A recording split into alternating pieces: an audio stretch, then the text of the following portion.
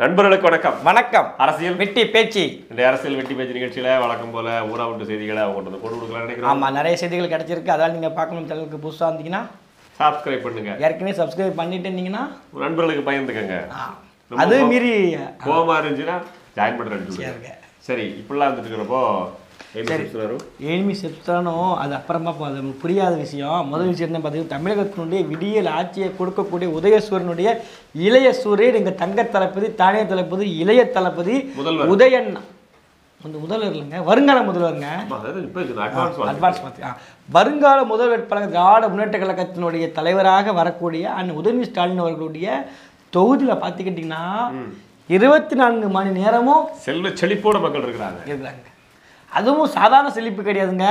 இருபத்தாம் மணி நேரமும் பார்த்துக்கிட்டிங்கன்னா நீங்கள் மது பிரியர்கள் கொண்டாடும் தொகுதியாக இது இருக்கு. மதுவும் சொல்லாதீங்க. மது பிரியர் திராவிட பாடும் கொண்டாடும் திராவிட பானம் கொண்டாடும் ரசிகர்களாக இருக்கிறாங்க. அங்க? அங்கே. குடும்பங்களை கொண்டாடி வெற்றி. அப்புறம் குழந்தை கொண்டாடி வெற்றி மாலுக்கு போக கொண்டாடி வெற்றி மாதிரி இது வந்து திராவிட பானங்களை கொண்டாடும் தொகுதி. தொகுதி. அப்படி அவர் தொகுதியிலையா? அவர் தொகுதியில். அரசாங்கம் அந்த திராவிட பான கடைகளை மூடுறதுக்கு ஒரு டைம் கொடுத்துருக்கலாம் ஆமாம் துறக்க ஒரு டைம் கொடுத்துருக்கலாம் காலையில் எனக்கு தெரியல. எங்கே காலை பத்து மணி தானேங்க? அதெல்லாம் உயர்த்திட்டாங்களா? பன்னெண்டு மணி சொல்லிட்டாங்களா? பத்து மணி தான் வேலைக்கு போகாம கரெக்டாக குடிச்சிட்டு போறான். வேலைக்கு போகும் வாங்கிட்டு போறான்னு டயத்தை வந்துட்டு உயர்த்தி பன்னெண்டு மணி சொல்லிக்கிறாங்க. பன்னெண்டு கிடையாதுங்க பத்தாயிடுச்சுங்க. இல்லாதீங்க வருமானம் கிடைக்கலன்னா? காலைல பத்து நைட்டு பத்தாயிடுச்சு. இல்லை இல்லை. பன்னெண்டு கிடையாது மட்டும். திராவிட பான கடைக்கு போயிருக்கீங்க நான் எங்க போகணும் நான் என்ன ராத்திரி துடுகாட்டு போயிருக்கேன் அது பத்தாயிடுச்சு. அது மட்டும் பத்து தான் நினைக்கிறேன். இப்போ காலை பத்து மணில இருந்து இரவு பத்து மணி வரைக்கும் இருக்கு. ஆனா அங்க உள்ள மக்களுக்கு என்ன பார்த்தீங்கன்னா இது எங்களுக்கு பத்தாது. பத்தல, நாங்க தமிழக பத்தல பத்தல. குடியும் பத்தல மெடியும் பத்தலன்னு சொல்லிக்கிட்டு அவ- ஒன்றியத்தின் தப்பாலே அப்படின்னு பத்தலன்னுக்குறாங்க. அவங்க என்ன பண்ணிட்டாங்க பார்த்துக்கிட்டு அங்க உள்ள மக்கள் எங்கள் தொகுதி அது சிறப்பு கேண்டிடேட் தொகுதி நாங்க மிக பெரிய வாக்கு வித்தியாசம் ஜெயிக்க வச்சிருக்கிறோம். சட்டமன்ற தொகுதியின் வேட்பாளர் சட்டமன்றத்திற்கே வராட்டியில் கூட நாங்க அவளுக்காண்டி ஓட்டு போட்டு ஜெயிக்க வைப்போம். அப்பேற்பட்ட எங்க முதல்வர் வருங்கால முதல்வர் ஸ்டாலின் உதயநிதி ஸ்டாலினுடைய தொகுதியில பன்னெண்டு மதம் தான் திறக்கா. திராவிட பணத்துக்கு அழுக்கு இல்லையா? திராவிட திராவிட மாடலுக்கு அழுக்கு இல்லையா. அப்படின்ட்டு நாங்க என்ன மத்த சொம்பைங்களா குளத்து தொகுதி மக்களா? நீங்க எனக்கு என்னமோ டவுட்டா இருக்கு. ஆ. நீங்க கழகத்து மேல அபாண்டமா பழி சுமத்துறீங்க. ஆதாரம் இல்லைன்னு வச்சுக்கோங்களேன் உங்க மேல வழக்கு தொடுப்பேன்.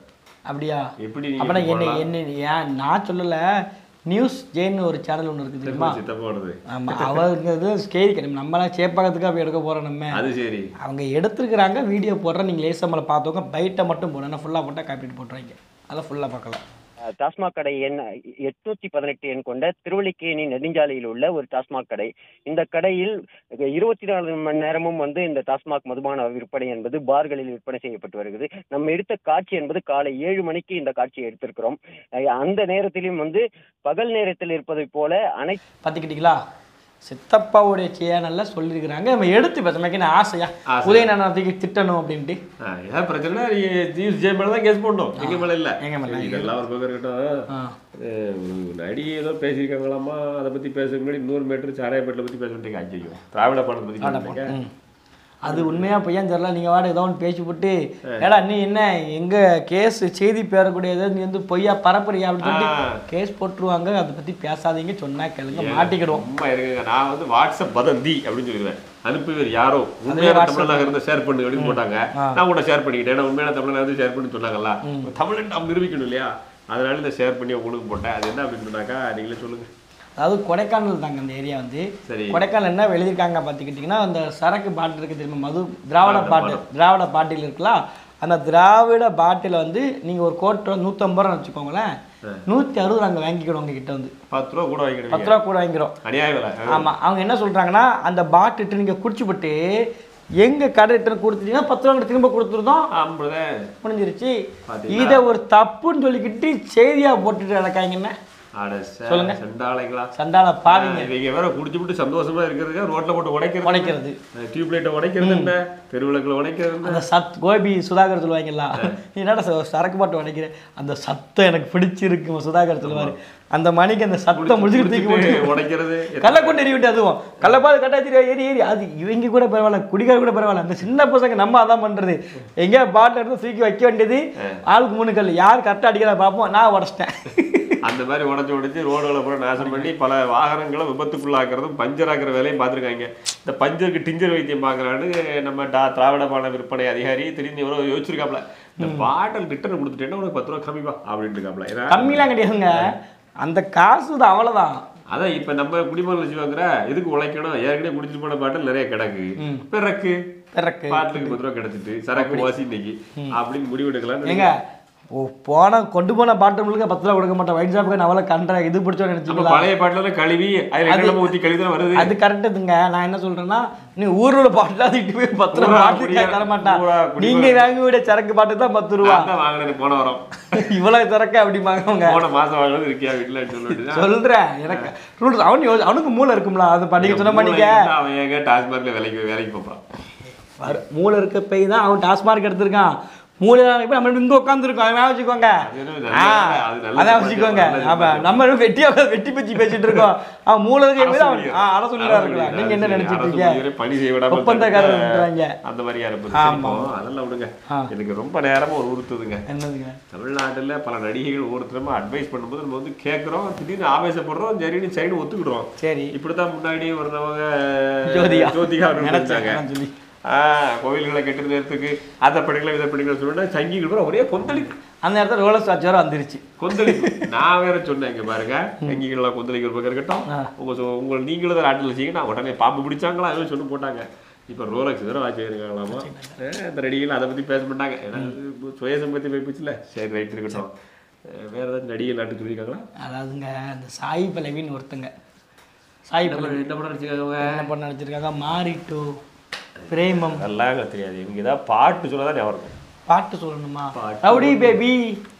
Rowdy baby. அவங்க. அவங்க ஆட்டோக்காரன் சூட்டாண்டாங்களா அவங்க. காலில் கையில போட்டு காலில் போட்டு திருப்பி கையில போட்டாங்களே அதெல்லாம் கொடியோகிராஃபி அதான் பெரிய விஷயம். கொடிய கொடியோகிராஃபிங்க. அதெல்லாம் மறுபடியும் சொல்லுங்க. கொடியோகிராஃபிங்க. இல்ல. இல்லங்க நீங்க. உங்களுக்கு என்ன கட்டுச்சு கொடி. கோடு மேல போறவனு கேட்டுச்சு சரி அதை விடுங்க. சரி. கரெக்டான ப்ரொனன்சியேஷன் என்னன்னு எங்களுக்கு தெரியாது. கொரியோகிராஃபி தான். அந்த இது எடுப்பாங்கல்ல அது கொரியோகிராஃபி நினைக்கிறேன். என்ன தெரியல. அஹ் கால்ல விட திரும்ப கையில போட்டா கொரியோகிராஃபிங்கிறானோ சரி சொல்லுங்க மேட்ரு அந்த நடிகை இருக்காங்களாங்க அந்த நடிகைக்கு பார்த்துக்கிட்டா ஒரு படம் ஒன்று வரப்போகுதுங்க. சரி. அது ஒரு படம் என்ன படம்னு கேட்கக்கூடாது. மறந்துருச்சு. நான் முன்னாடி. நான் முன்னாடி வீடியோ போட்ட படம் டக்குன்னு மறந்துருச்சு. ராணா நடிக்கக்கூடிய படம் அந்த படம் பதினேழாம் தேதி வருது. அந்த? ப நாளைக்கா பதினேழு அப்போ நாளைக்கா தான் இருக்கு கரெக்டாக. இந்த படம் வர்றதுக்கு ஒரு ப்ரொமோஷன் கொடுத்துருக்கான். போன இடத்துல வந்து என்னமோ கேட்டுருக்கான் போலக்கு நிறைய சும்மா அடக்காம அஹ் இந்த நம்ம என்ன பண்ணிருச்சுன்னு பார்த்துக்கிட்டே இப்போ நீங்கள் பார்த்துக்கிட்டிங்கன்னா பண்டிதர்னு ஒரு படம் வந்துச்சு. காஷ்மீர் ஃபைல்ஸ் அதில் பண்டிதரை ஒருத்தங்க வந்து முஸ்லீம் ஆளுக்கு வந்து சுட்டு கொண்டுறாங்க அப்படியா? அந்த படத்தில். படத்தில் நடந்துச்சுன்னு சொல்கிறாங்க அவங்க தெரியல. சுடுதாங்க. தெரியலங்க நீ அந்த டாபிக் ஃபைட்டுக்கு போவாங்க சரி. அதை கொன்னது எப்படி தப்போ அது எப்படி அந்த மாதிரி ரசிச்சிருக்காங்களோ அதே மாதிரி இப்போ கொரோனா காலகட்டத்தில் மாடை கொண்டு போன சொல்லிக்கிட்டு ஒரு முஸ்லீமே இந்த ஆர்எஸ்காரங்க பேரை சொல்ல நான் சொல்கிறேன் இந்த முஸ்லீமை அடிச்சு கொண்டாங்க தெரியுமா? இவங்களும் பண்ணது தப்புன்னு சொல்லி சொல்லிட்டாங்க. சொல்லியிருக்காங்க. இது தப்புன்னு சொல்லி போட்டு கதை ஆரம்பிச்சிட்டாங்க எல்லாரும். எதுக்கு தானே நல்லா தான் சொல்லி அங்கும் தப்பு இன்னும் இந்த வெட்டி பச்சி மாதிரி பேசியிருக்காங்க சொல்ல நடுநிலை பேசியிருக்காங்க நடுநிலை பேசி அவங்க பேசின இதுதான் எனக்கு பிரச்சனையா இருக்கு. அவங்க அவங்கள ரொம்ப நேரம் கச்சமுச்சா கச்சமுச்சா அதான் பேசுனாங்களோ? எதுங்க அவங்க பேசினது ரொம்ப நேரம் கச்சமுச்சா கச்சமுச்சான்னு பேசுனாங்க. ஆமா. ஆமாம் தானே? ஆமாம் அது இதுதான் பேசுகிறாங்களோ ஆமாம் தெ தெலுங்கில் பேசியிருக்காங்க. தெலுங்கு சேனலில் இன்டர்வியூ கொடுத்தாங்க. படம் தெலுங்கு படம் தானே? அப்போ உங்களுக்கு தெலுங்கு தெலுசு. நான் ஏற்கனவே வீடியோ நான் போட்டுட்டேன் ரோஸ்ட் சேனலில் விளக்கம் கொடுத்தாரு. சன் நியூஸில் வந்து பைட்டர்ஸ் நம்மளே பேசியிருக்கிறோம் உருட்டியிருக்கிறோம். சரி. ஆமாம் அவ்வளோதான் அது கதையாக சொல்கிறேன் அப்போ வந்து உங்களுக்கு தெலுங்கு தெரியுது. இப்போ தானே சொன்னேன். இந்த பைட்டை கூட நான் போட்டு காமிச்சிருந்தேன் பார்த்துக்கோங்க ட்விட்டர்ல ஷேர் பண்ணிருக்கேன் அப்போ அவனுக்கு தெலுங்கு தெரியுது. ஏங்க ஒரு பேச என்னங்க நீங்க இந்த ஏதோ தமிழ் பேசுற மட்டும் எங்களுக்கு புரியுது. வேற புரியல உங்களுக்கு நல்லா புரியுது. கேட்டா நீங்க திராவிடன்ங்கிறீங்க கண்டுபிடிச்சியா? யார் யாரெல்லாம் திராவிடன்? தமிழ் தவிர்த்து பிற மொழி புரியுதுன்னு வச்சுக்கோங்க. பிற மொழில ஹிந்தி கிடையாது. தெலுங்கு மலையாளம் கன்னடம். இதெல்லாம் துளு. துளு. இதெல்லாம் புரியுதுன்னு வச்சுக்கோங்க தமிழ்நாட்டுல உள்ள உட்காந்துக்கிட்டு இவரெல்லாம் திராவிடன் திராவிடன் ஆயிரும் எனக்கு அவங்க பேசுனதெல்லாம் புரியல.